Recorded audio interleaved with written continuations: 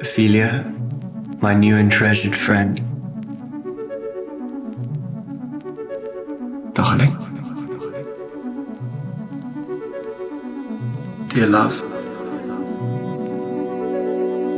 The bloody deed, I fear, is done.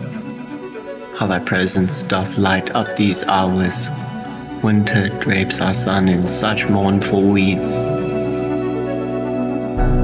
You bring to us sweet hints of sparkling spring.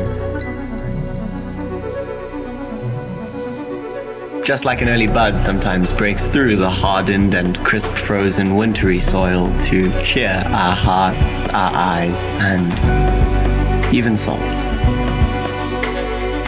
I do not have nor act the loving and contrite son whilst knowing that a dirty spider lurked, feeding on our lives, our words, our souls, and then regurgitating it to him, the most dangerous spider of them all.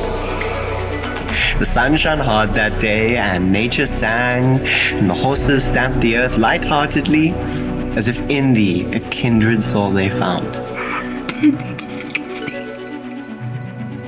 For I was lost in rage and sick with gall, as if we were all just some toys to satisfy some lazy infant's whim. I could not help but strike back at the cause. But I do miss thee sorely, dear Ophelia. Do forgive my last comment if I've overstepped the bounds of modesty.